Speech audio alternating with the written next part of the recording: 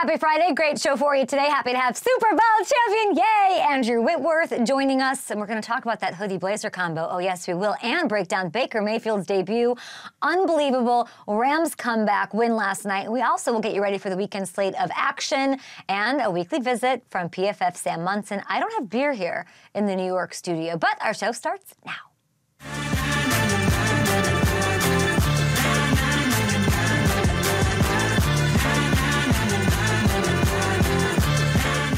Welcome to Up and Adams in New York City. That's right. That's fake. That's a green screen right there. I'm in New York and I'm about to have a great weekend.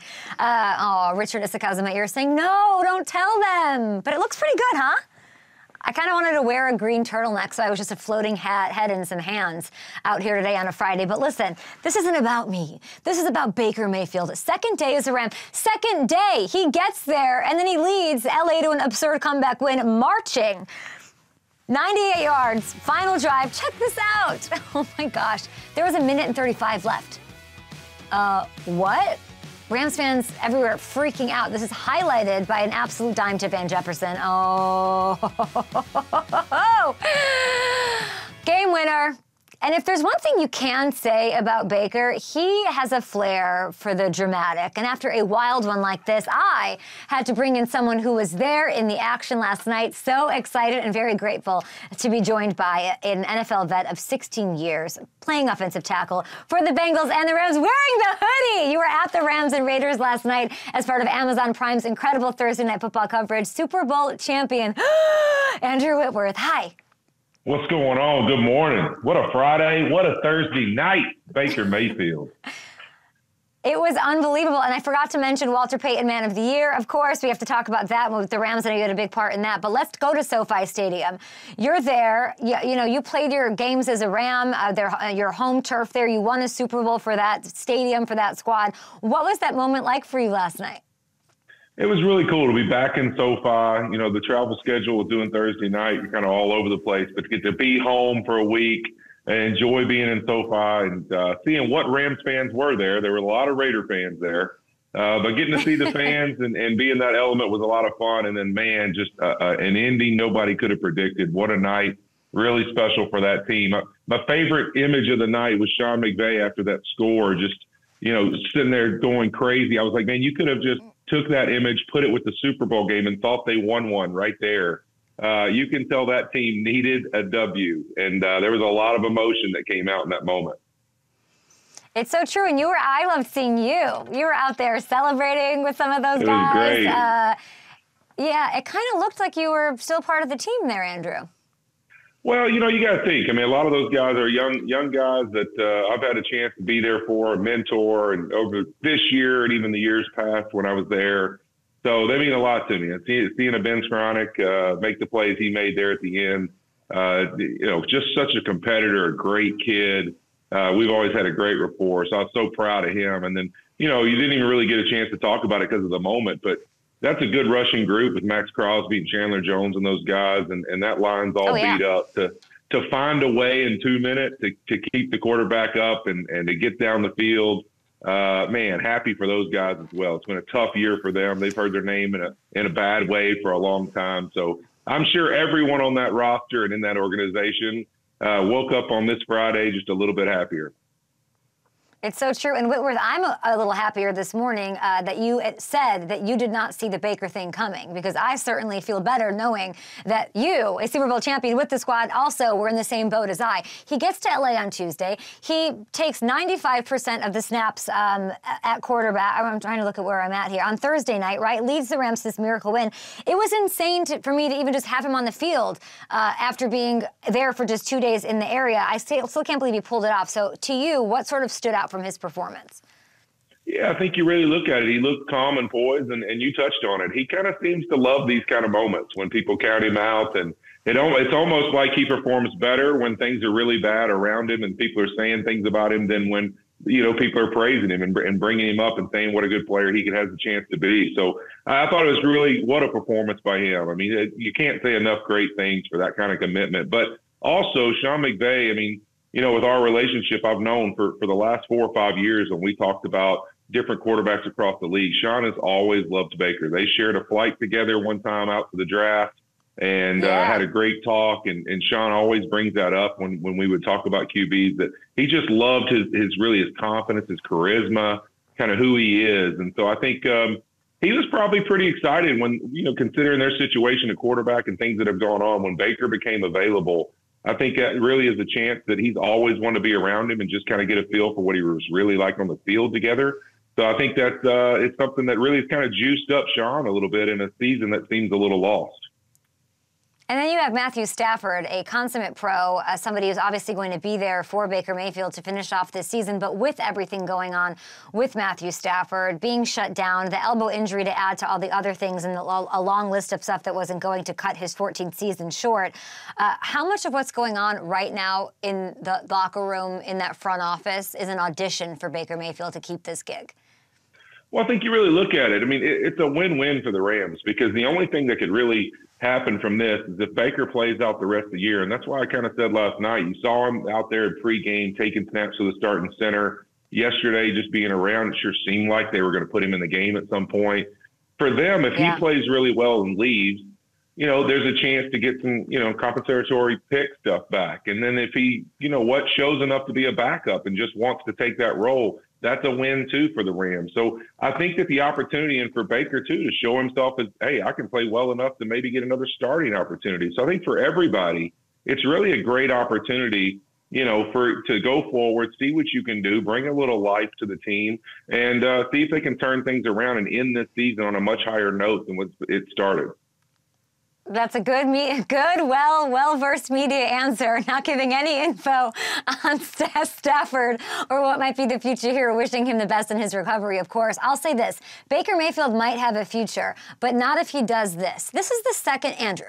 This is the second time this season that we. Come on, this is You what is know, he doing? here- here's the thing, Kate. I'm a head butter too, so I got you know, I, it's just some of us aren't good with our arms in the moment. Okay, you know, you, you want a high five and you want a chest bump, and you get lost in the moment, and you just go head first. You know, so uh, hey. he- He'll be okay. And look, you know, as for Stafford, that guy's going to be there. He's going to be playing football. Stafford's ready. He, he'll be fine. He's, he's a little banged up. Okay, you're a but uh, he'll be healthy. Okay, You're so you ain't got to worry is about Baker- Stafford. I'm not worried about him. Okay, as a, as a head butter, are you feeling that today? Is Baker feeling that today? Um, you know, you might have a little sort. Like for me, having no hair, it's, it's dangerous because you know I can end up with a purple mark, a cut. I've done it before. It's happened. You know, the kids are like, "What's wrong with you?" I thought you wore a helmet. But uh, you know, it happens. You know, some of us, like I said, we're just we lean in with the head a little too much when we get excited, and uh, go head first. It, he'll be all right. I mean, I, think guess that he's, head right he's really he's really taking that I'm a ram personally. He's truly ram. Yeah, I like that, I like what you did there. I like what you did there. it all makes sense.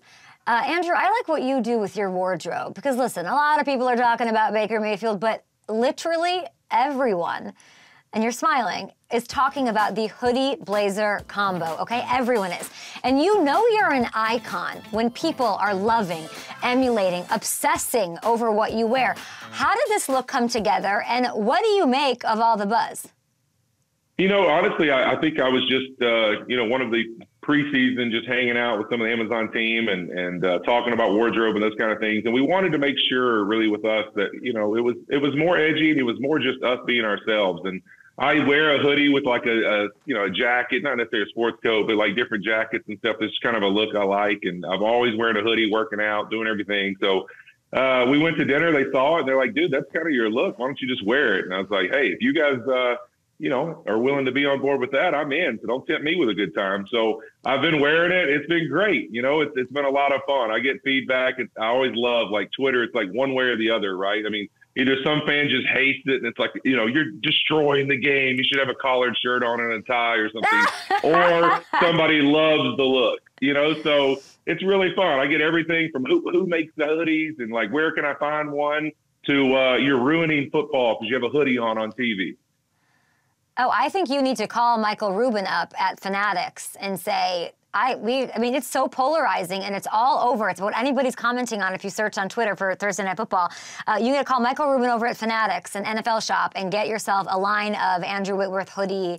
Like maybe it's like a hoodie that's with a. Bl- so there's something there. I'm just trying to make Oh, you know yeah. you and your beautiful Kevin family some Kevin money. Demoff last night, the team president for the Rams, he he did a tribute to me, wore the hoodie jacket. So uh, he was so excited. He texted me, he's like, "I can't wait for you to see me. I'm honoring you tonight, and it's not your jersey." So when I saw him last night, it was funny. Uh, really cool to see.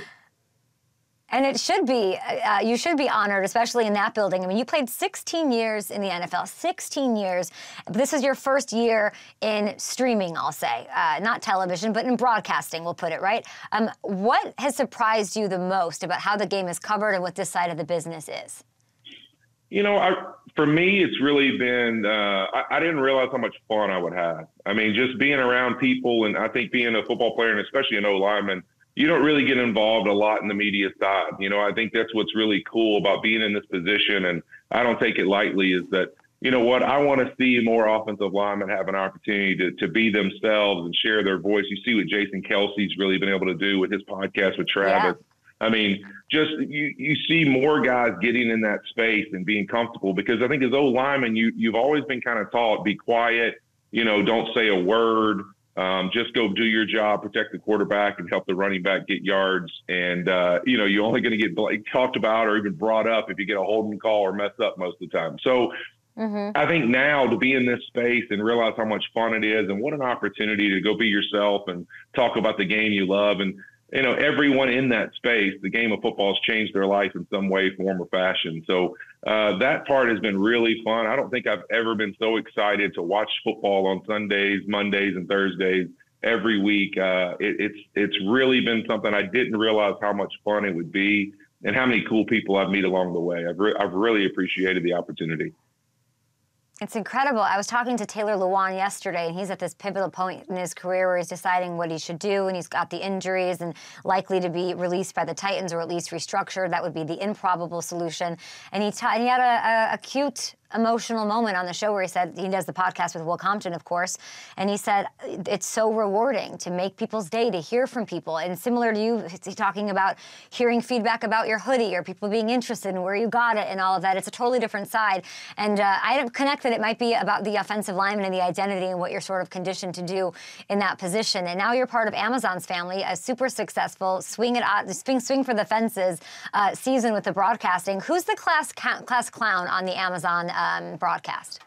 Oh, I mean, we, it's easy. The beard. I mean, Ryan Fitzpatrick, uh, Ryan Fitzmagic, whatever you want to call him. Uh, he's always got a one-liner. You know that Harvard education comes out quick. He's so witty. He's so intelligent. Uh, he he's really good at lightening the group up or having something that's maybe borderline. You know, hey, it's kind of personal, but it's also really funny. So he he's just so good at playing that line. And you brought up Taylor Lewan. I think this is a key thing. I can remember before Taylor started the podcast, did all that stuff. He went on after his rookie year on the NFL Network and was on the draft, pro, you know, the uh, combine, actually, excuse me, coverage. And I can remember guys across the league, offensive linemen, mad that a young guy like that would go on TV and be out there talking about other O linemen that are coming out the next year because what have you really done? Why are you speaking? And, and it's really the first time, to my point about O linemen being involved in this media, that I realized we have a, a systemic problem with O linemen. Like, what are we doing? Like, we should be celebrating a guy being on TV, getting an opportunity to talk what we know about and what our part in the game is. And I really give credit to him as being one of the first guys that necessarily, not, not that other O linemen haven't done it, but really jumped Yeah. out there and just showed his personality and rocked who he is and said, love me, hate me, whatever you want. This is who I am. Embrace it. And I think that's really cool that he kind of has been that guy that's really in this modern era of media exploding. He's been the guy that's kind of set the tone. It's true. I think that he, and Will Compton, and he had to be sold on the concept by Will. He didn't want to do it. He said nobody's doing a podcast. Then they started it, uh, Bussin' with the Boys, of course, and uh, and now you do have the Kelces, Jason Kelce. I mean, they're I do believe the number one sports podcast out there. I thought it was super cool that Taylor told me that he isn't I said, that's competition. Like you were the first, but they're having a little bit more success than you. And he said, I just love it all. Any player yep. taking the media into their own hands and, you know, using their voice and having success sort of makes him happy because he is the same thing of you. I want to see more of this. I want to encourage more of it. So that brings me, and I think every fan's asking, where is the Andrew Whitworth, Eric Weddle podcast? And maybe we can have special guest appearances by Ryan Fitzpatrick. Who knows? I mean, you, you kidding me? I mean, me and the, me and the beard, the other beard, Eric Weddle need to. Well, you need it. I mean, it's got to happen. I mean, it got to happen. The the I call it uh, the Mean Girls because you know it's it's what you do in the locker room. The veterans who just we have the special place we sit. You can't sit at our lunch table. You can't sit on the training tables that we like to sit on. If we want to get taped, you have to move. You know, it's just constantly. We wear pink on Tuesdays. It's it, you know, it's the whole deal. So it, it it's who's all the, that. So me and Weddle, we got to get together. We got to make it happen.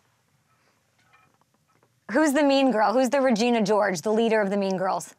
Oh, it's Weddle for sure. I mean, you know, hey, look, yeah, Weddle loves giving people a hard time. That's his thing. You don't ever want to show Weddle a weakness because just like Ryan Fitzpatrick, he's really good at just uh, continuing the needle. The thing that you show him will get a little emotion out of you.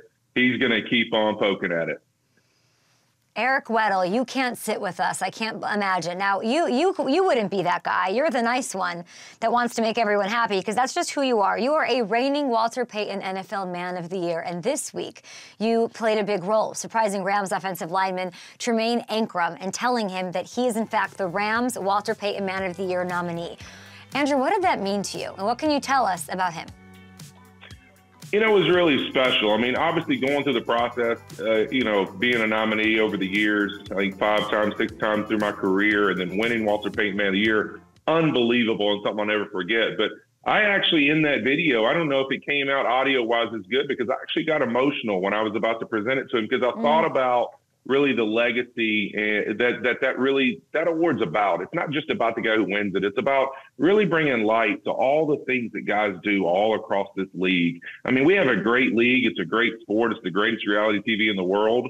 But we also have some really great people that, that devote their time and their energy and their effort to making things, you know, about less just about them and, and about the people around them and the communities that we get to play in, live in, and and have an opportunity to be a part of. And so Tremayne Anchrum is one of those key parts to me because here's a guy that the reason the Rams found out that he would be a nominee is that somebody actually tipped them off how much service work he does without telling a soul. Mm. He was mm. driving from practices and workouts to go visit Boys and Girls Clubs, food coalitions, Salvation Armies, different things, going to make visits and see people it, nobody had an idea about tutoring boys and girls clubs kids on his own. I mean all these things that he didn't want any recognition but he was already doing it. And so they started they actually just started following him to document all the work he does. So i think to me when you talk about all the different ways you can invest in your community your service of your own hands and feet and time is, is one of the greatest ones there can possibly be. And because you would say that your time is one of the most valuable things in the world. So I just think for him, it's so special, just the, the person he is. And I think I said that to him when I, I gave him the award and tell him he's our nominee is uh, just thank you for being exactly who you are.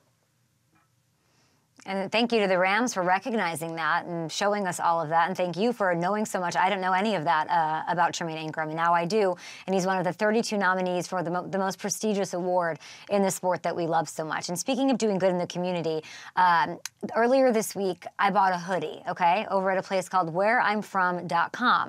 And there's a bit of a charity competition surrounding Joe Burrow and his foundation. So it's basically Bengals taking on LSU. It's that same do good hoodie that you're seeing, and you can either buy the Cincinnati Bengal colors or the LSU ones. Now, you played for both. I'm going to need you. This might be the hardest thing you've done in a while. Who loves Joe Burrow more? If you're Andrew Whitworth, are you buying the Bengals colors jersey? Cincinnati loves him more, or is it LSU and Baton Rouge? Oh man, you know what? Uh, in LSU and Baton Rouge, he can't do any wrong. That's for sure. But I'm going to go with the Bengals because I think that when you think about it, LSU had won some championships. They've had some success over the last 20 years. In Cincinnati, this guy walks in and in no time at all takes them to a Super Bowl. Even though they didn't win it, the, the opportunity to compete every year is something he's going to give them because he is a rare, rare human being. His ability to compete and make the guys around him better is, is so special. uh, I'm I'm a huge Joe Burrow fan, and so I I can't wait to see how this season closes out. And I hope this opportunity he has here with the hoodies is great. But I'm still waiting on him to rock the hoodie. He promised me. I remember coming on with you when we were in Cincinnati. Okay. He promised me after the game. He saw the look and he said, "Dude, I kind of like it. I might actually try it out this year." So I'm still waiting. I check every week. I'm waiting to see the hoodie jacket. We're, it's going to happen. I can just feel it. One of these weeks, he's bringing it out he's got to do the do good hoodie with the jacket uh, to support. Andrew Whitworth. And Andrew Whitworth's new podcast, Whitworth and Weddle, You Can't Sit With Us. That's it. Boom. Thank you, Kay. I appreciate that. We're That's ready. it. I, I just Uh, wrote I will it down. say, we appreciate you. Thank you so much for coming on the show. And I'll say, Joey Burrow might have not done it yet, but Matthew Hamilton, my producer here, take a look as we say bye to you, and we wish you a I happy love look. it. He's, Thank he's you, got it. Matthew. I love it. You gotta take you. the t-shirt off, I think. Yeah, is that the key? Yeah. You almost got a little turtleneck hoodie jacket thing going, but it's, it's cool. It- you know, I- it's all right. I, all right, just all right. All right, I'll take Andrew it. I'll take it. You can't sit with us, Hamilton. You can't sit with You- us. That's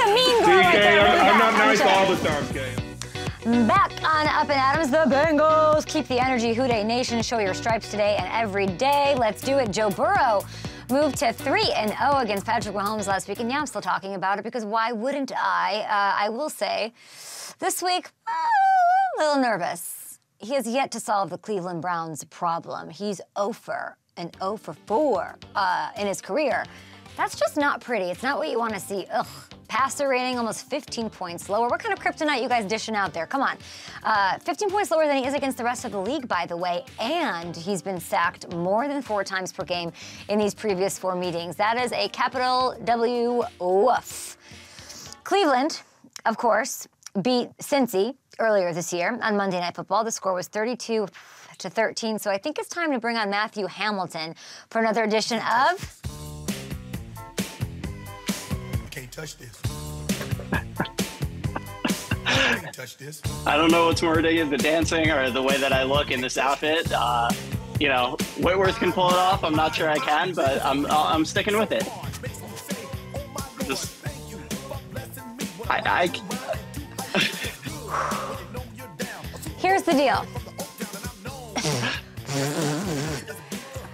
you, okay, you got to break it all down for me because why have the Browns have had such an I'm like literally my brain is going back and forth in my head. Why have the Browns had such a thing over Joe Burrow and what can he do on Sunday? Yeah, I think it all starts with controlling Myles Garrett. You showed it there. They've been having some issues keeping Burrow clean. Let's not forget that that last matchup was the Bengals' first game playing without Ja'Marr Chase this season. And it took them a little bit to figure out how to get this offense clicking. But I think they've evolved. And you saw it last week with Ja'Marr back in the fold now. I think this offense looks better than ever. So let's go to the tape and I'll show you why Ja'Marr's presence in this offense makes them better. You'll see this is the first matchup against the Browns. It's a third and six. Without Ja'Marr out there, they're playing press man across the board with just one safety over the top. And that allows Okay. them to bring pressure up front. They're sending five. And the Bengals just have a tough time picking this up. Nobody's able to get open across the board, and Burrow goes down very quickly. But with Chase back in the mix last week, this was that key play, that third and 11 to T. Higgins to ice the game. It's a simple slant flat concept. Chase running the slant at the bottom, Higgins running the slant up top. But I want you to watch how Kansas City defends this. Look at that. The safety has eyes on Chase Ooh. right off the snap. They're bracketing him. That means T. Higgins is one on one up top with rookie corner Joshua Williams. And Williams does a great job here, but without any help with Burrow's accuracy, Higgins' hands and ability to use his body, that's just impossible to defend no matter how well you mm. do it. And looking at it from the end zone angle, you can really appreciate how incredible this throw is. I mean, Williams' hand is right there. He threads the needle. That's as tight a window as you can imagine, and Burrow fits it in there. But Chase's presence also allows for versatility in this offense. This was lost in the sad Kelce shots on the sideline. The game winning touchdown to Chris Evans. Watch how quickly the Bengals break the huddle here. Ja'Marr Chase is at running back. Lines up in the backfield. The Chiefs are all sorts of confused. Chris Evans is up top running that shallow cross. He's lined up at wide Yep. receiver. So KC's all over the place defensively. They actually pick up Chase defensive end George Karlaftis runs with him, but nobody runs with Evans. He is wide open in the middle of the field. The confusion that Chase being in the backfield created opens this up for the touchdown. And I think those four games that the Bengals played without Chase might have been the best thing for this offense because it allowed Burrow to develop that chemistry and rapport with these other weapons yeah. and the trust factor to go to them in these key situations. You saw it. The two key moments in the game, it's Chris Evans and it's Higgins that he goes to. Not saying that Chase won't have his opportunities to make plays in key situations, but knowing that he doesn't have to force the ball there and can spread it around makes this offense so much better. You make this show so uh, the way you just explained that and showed that is really incredible. That was your best Hammer Time breakdown, and I know that I joke and I dance and stuff like that was so well done by you. And if I was Nate Burleson, I would make some sort of Chris Evans Marvel Captain America joke, but I'm not going to do it. But you know Nate would, right? Oh, a hundred percent. He would have been he would have been sitting at home last night with the with his feather pen from Nate Stradamus, just cooking up all the Captain America references he could. and you love to see it. Now, Hammer, give me some faith here. Can the Bengals get it done on Sunday? I think they do. I think Burrow finally picks up that first win. They're five and a half point favorites. I think they cover that. Mm-hmm. And I think they hit that over for uh, the 46 and a half point total. I think this offense is con- going to continue to explode. Uh, as good as that Browns pass rush is, you can't really bring pressure like we saw in that first game around when Chase is out there because this this offense is too talented. There are too many weapons that can make game breaking plays. So it's going to be interesting. If the Browns want to play that aggressively again, I think the Bengals are going to take advantage of it. I hope so. Do we need the Bengals to have more uh, dynamic, ballsy play calling in this one? I think it definitely helps when Zac Taylor stays aggressive. We saw him kind of shy away at points in that game, but when the game was on the line, that play to Higgins was as an aggressive call as you can make, and you saw yeah. how it paid off. I like when he trusts this offense and trusts Burrow in those in those big moments. Don't look at me like no I can't say goals. ballsy. Kyle Sh- Kyle Shanahan said it, so I can say it. It's now in the common nomenclature of NFL vernacular. No.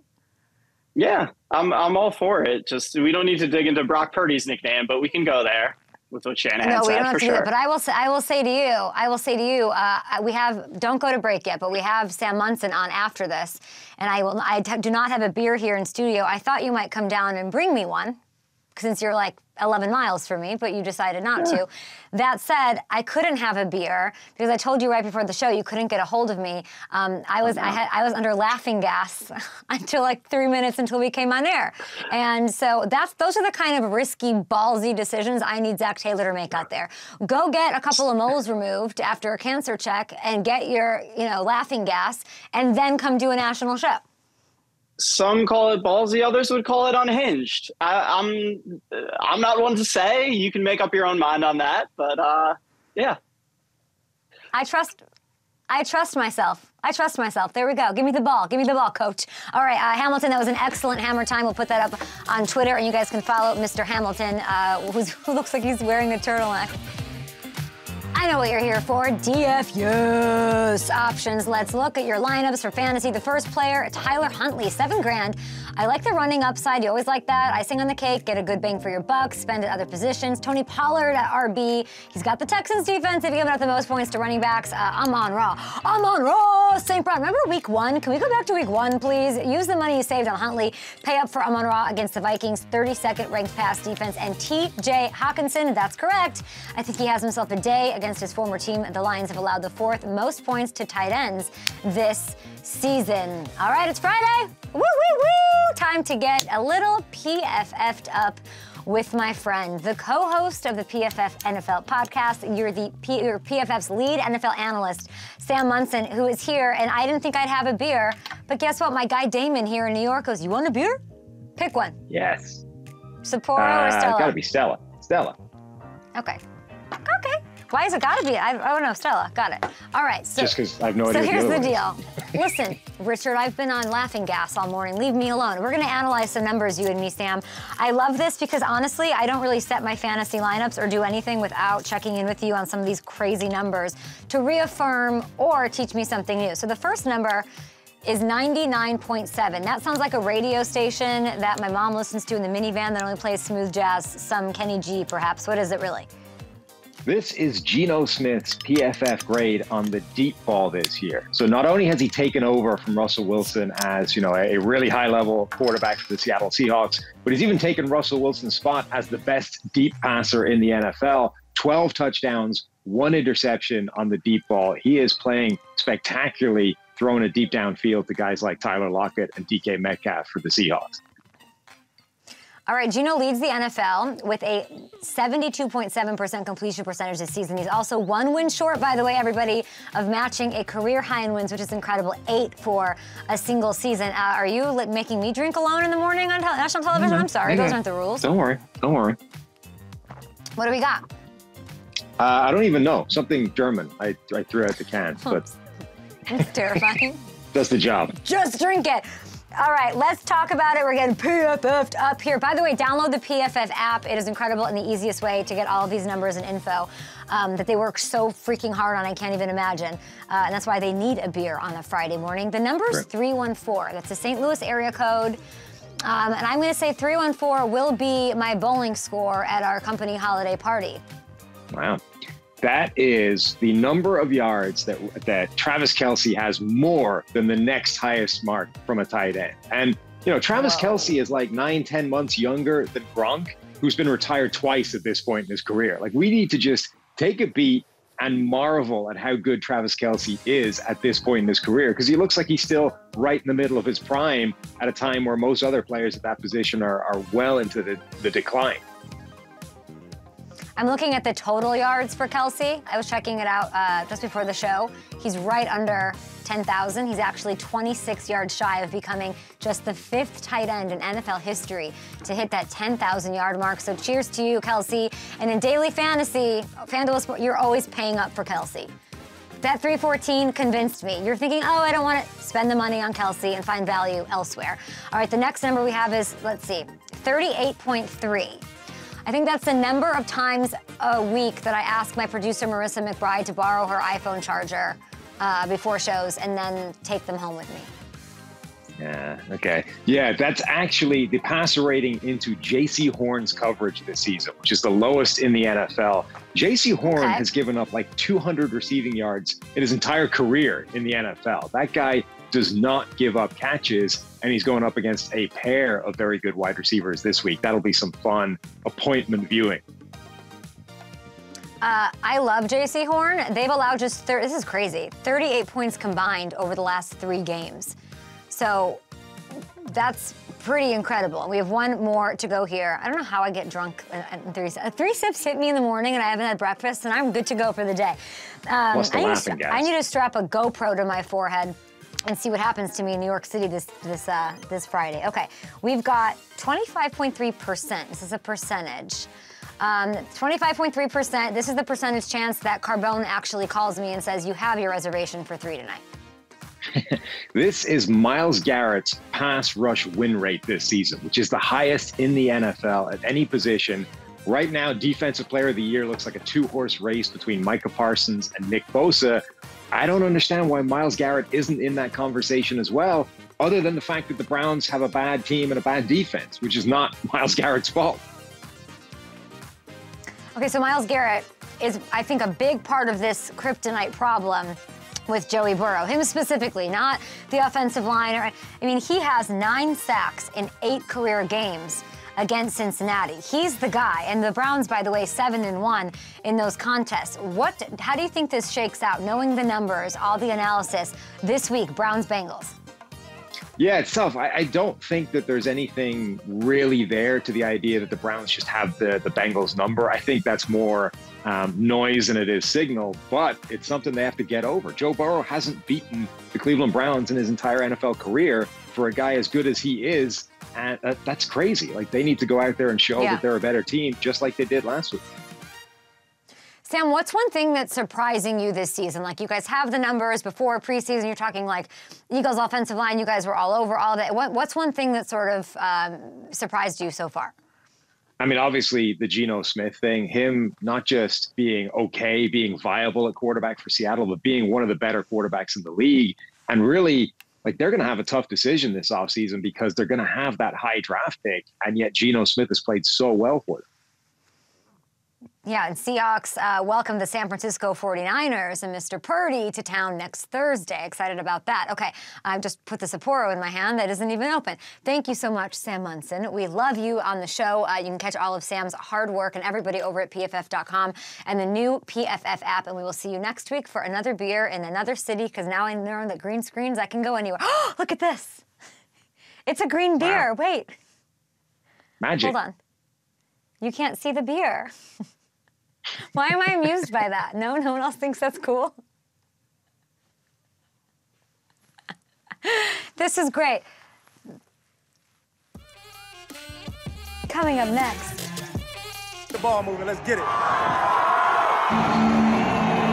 Six picks as a rookie. Merry Christmas, you filthy animals. I feel great. Best game we played all year, gentlemen. Anytime you get to 10 wins in this league, you give it up for yourselves. Got a long way to go here, and we still got everything in front of us. This win is fun. Let's keep this thing going. What do we say, Dolph? They gotta play us! Keep the most important thing the most important thing. Mike's on three. One, two, three. Vice. Drop the mic. Excuse me. I'm getting so sad about K makers. Hold on, I need some water.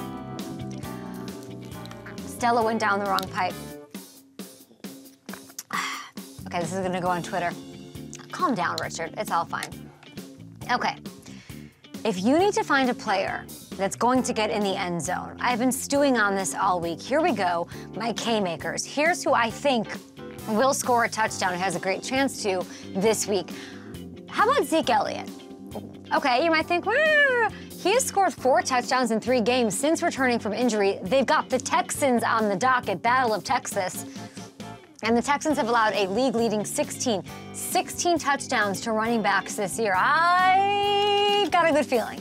How about Tee Higgins? Tee Higgins, oh, we love him. We celebrate him on the show, and he has found the end zone in back to back weeks. And I do think he does it again against Cleveland with all the attention they're going to pay to Ja'Marr Chase, who had just under 100 yards in his first game back. I do think T is going to have a touchdown in this one. And then I know it's a migraine. I know it's a hmm, avoid at all costs the Patriots backfield. Kind of a thing of the past. You can trust Rhamondre Stevenson. He leads the Patriots. He's got five touchdowns this year. He's going against a Cardinals defense that allowed the second most points per game in the NFL this year. I like how it's adding up and how it's sort of shaping for a guy that has been the driving force of this entire New England offense. Hey, Matt Patricia, I know Mac is yelling at you on the sideline, but why don't you just give the ball to Rhamondre and everyone will be happy? Zeke Elliott, Rhamondre Stevenson, that's right, two calls at running back for touchdowns and Tee Higgins. All right, so many good matchups this weekend. Ravens, Steelers, oh, Eagles, Giants, Dolphins, Chargers. Playoffs on the line. So we'll preview the Week 14 slate after this. It's Take That. Week 14 slate is here. Little NFC East action. We love it. We got the Battle of Texas. How about this? Okay, Mike F. and White going up to Buffalo to take on Allen and company. Um, what else do I love? I mean, Dolphins at Chargers is a great one as well. The weekend after that is uh, Titans at Chargers, which we're excited about. It is time for some Friday. Take that. Derek, put me on camera. Is this Derek's last show, Richard? Derek, our uh, director, it is his last show. He's been filling in and helping us out for Sarushi, who's been in Qatar uh, covering the World Cup. So, Derek, you've done an incredible job. You've made improvements to our show, and I just want to take a quick thank you for you as we get into some thoughts over the weekend. You are welcome, Derek. All right, let's get into this. Uh, this is called Take That Things That We Think. How about the NFC East? Let's go. Philly at Washington. And I want to start with those 11 and 1 Eagles taking on those 7 and 4 I roll and one Giants in the Meadowlands. I said last week that the game against the Commanders was the most meaningful, most impactful, pitiful, uh, pitiful, pivotal. Not pitiful, but you know, biggest start of Daniel Jones' career.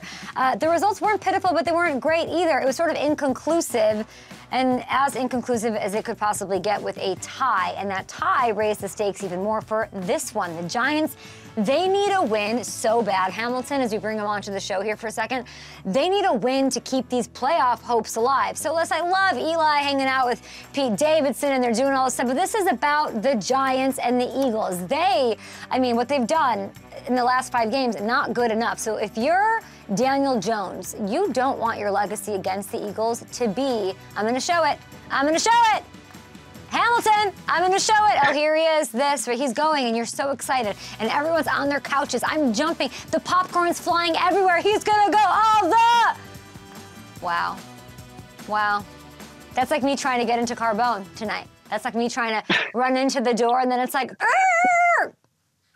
I feel like that might be you trying to walk out of that studio after the laughing gas and beer interaction. But um, but yeah, I think the feeling here in New York, because because remember also for Daniel Jones, this is a contract year for him, and he's trying to prove he can be the franchise quarterback for the Giants. So I think this is a game. You know, I know the Eagles are eleven and one, but this is Giants Eagles. These Giants fans, I think, are expecting a win and this team to rise to the occasion, and you know, finally you know, pick up some steam after hitting a rough spot here in the middle of the season. Uh, well said. I noticed that you changed, which only means one thing. Andrew Whitworth is, in fact, Regina George and got you to change the way you dress, like she did all those girls in the high school when they had the little cutouts in their t- shirts. Yeah, I mean, getting the, the just okay out of him, like, if you're saying to someone on TV, just okay uh, about the look, that's says everything you need to know. I mean, that was him being polite. So just imagine yeah. how he really felt. So you went and changed into the Shaun O'Hara classic because Shaun O'Hara yeah. would never tell you that. Exactly. Shaun O'Hara will always support me with the quarter You got the quarter zip, the uh, Kirkland brand quarter zip, and we love to see it. I want to go to the AFC East. It's the New York Jets at Buffalo, so we'll stay there. The Jets are traveling. It's you know Buffalo got vaulted back up into the one seed. Nobody had a better Sunday than them. They didn't even play. Uh, the Bengals win over the Chiefs. That was good, but it really wasn't all good news this week because we did find out that Von Miller does have a torn ACL. He's going to miss the rest of their season. Their big ticket, their Super Bowl piece. Uh, and this is a pretty significant speed bump in their, you know, desire to win a Super Bowl. Um, I'm going to say this. I think the Bills have a little something to prove right now. Remember what happened in the first meeting with the Jets? And take a look at this. New York beat Josh Allen up just a little bit, right? They picked him off twice. They sacked him five times, including the one that caused his elbow injury. So Buffalo yeah. has to take care of business, Hamilton, before they start thinking Super Bowl. They got to take care of business in their division. Yeah, they really do because uh, you know losing those games to the Jets and Dolphins puts them in a little bit of a weird spot. And uh, yeah, I think this Jets defense. We talk so much about the Niners and how great the Niners defense is over the past eight or nine weeks. The Jets are the number two defense in the NFL. They're right up there with the Niners. They've been playing phenomenal football as well. Robert Saleh obviously had hands on, on both of those units, so it's pretty incredible to see. Um, you know the imprint that he's left on this league. But this Jets defense is for real. And for the Bills, it's a challenge to show, hey, our offense can get it going against one of these top defenses in the league. And I know, you know, you look at it like if you're a Bills fan, the Jets have been kind of your little brother over these last couple of years, but they did beat you. And I think, um, you know, solving them and showing that that was, you know, they can kind of show that was an anomaly and that they're still they still hold the upper hand over the Jets and over everybody else in the AFC East. So we know the Bills fans and this Bills team, I feel like they're always at their best when they have a little chip on their shoulder, when they feel like they have something to prove. I don't think they like being in that position of like, oh, they're the odds on Super Bowl favorite. Everybody's picking them to win. I think they like now that people are going to start doubting them a little bit, especially without Von Miller in there. That's a good point, and they have the chance to sort of prove doubters wrong because they've got back-to-back revenge game situations. Of course, first up against the Jets, and then the Dolphins right after. So exciting stuff in the AFC East. Uh, finally, let's go to Tom Brady, Tampa Bay at San Francisco. We like the storylines here. Let's look at Tom Brady's return to the Bay. Not return, not he played there, but he's obviously from there. It's a cute storyline, and he takes on Brock Purdy and the Niners. I do think the jury's still out on both of these teams and how they stack up in the NFC as we sort of gain knowledge and gain focus on the playoff picture. And we're going to get legitimate, hopefully, solid, don't tie, please, legitimate answers on Sunday. Uh, and the questions are, you know, will that miraculous comeback from Tampa jolt the Bolts back into being the team that we know they have the talent to be? And on the other side, can Brock Purdy build off his impressive outing against the Dolphins against a defense that has a full week to prepare for him? So he's become, uh, Hamilton, sort of one of the most intriguing figures in the league down the stretch because his team's absolutely loaded and Super Bowl bound if he and Shanahan can work it out and stay in contention. And then Trent Williams, of course, uh, I know you saw this, he added fuel to that intrigue this week, joining a podcast for The Athletic, and he had this to say about the competitive nature Purdy has brought to the team since he stepped in. I'd be like, man, just relax, man. This is scout team reps. But then again, you understand that how he got to this point. It's his makeup, you know, and and uh, for us to have, you know, I think pay what Sudfeld a pretty penny Yep. to to be the to be the backup, and for a guy to come in and impress the coaching staff as much as he did to unseat a guy who basically paid to be in that position. You know, I think it speaks that speaks to, to what everybody's seen. high praise from one of the best, if not the best in the game right now, a future Hall of Fame tackle. So we really have no idea how it's going to actually play out with Purdy when live bullets are flying, but I want to make sure I say this before anything else happens, okay? If Purdy winds up being successful, can we collectively not turn it into some type of slight about Jimmy G? Hear me out. Brock could end up being a good quarterback and take the team very far. It doesn't mean that suddenly Jimmy is, was, will be terrible. Why can't they both be good? Probably because networks and things need ratings and they need to discuss and pick things apart. But the truth is, the actual truth is that success, this is something I've learned, success is not mutually exclusive. It doesn't have to become some weird media war with people using Purdy as a way to justify unwarranted opinions about Garoppolo. A 42 and 19 record should shut everyone up. It's enough of a sample size in this league to show us Jimmy is a good, great quarterback. And I know it'll happen regardless, and I'm wasting my breath here because it's the culture that we live in right now. But I did want to put it out there because maybe someone will listen to me and if one person does it'll be enough for me. Uh, the success of one player to use that to tear down another one is something that will always drive me crazy hamilton I couldn't have said it any better myself, Kay. I love that. I know you've been such a big supporter of Jimmy uh, over the years, I love it. and you're right. Like uh, I'm intrigued by Purdy. I'm excited about Purdy. I want to see what this kid has. But yeah, there is that apprehension. It's like, oh God, here we go. People are going to have their Jimmy hot takes now. So um, let Purdy's be success be Purdy's success. I told you Monday how we frame it's important because they're going to tear down Jimmy by us saying good things about Purdy, and we saw that happen this week. We will see you guys on Monday, whoever it'll be. I don't know. I don't I play at home. Bye.